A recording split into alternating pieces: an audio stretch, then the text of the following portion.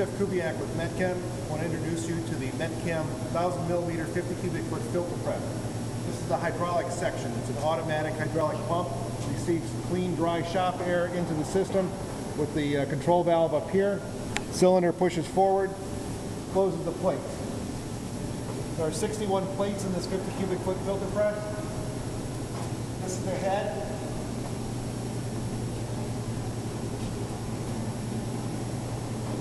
Inlet is through this center feed pipe. Dirty solution goes in there, goes through the filters, comes out the four corners where it's manifolded into one common clean water return. There are two different types of plates designated by the 1-3 sequencing, indicated by these buttons on the side of each handle.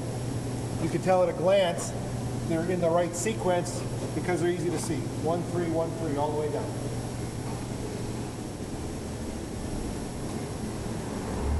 That's important for the air blowdown process, which we'll describe later.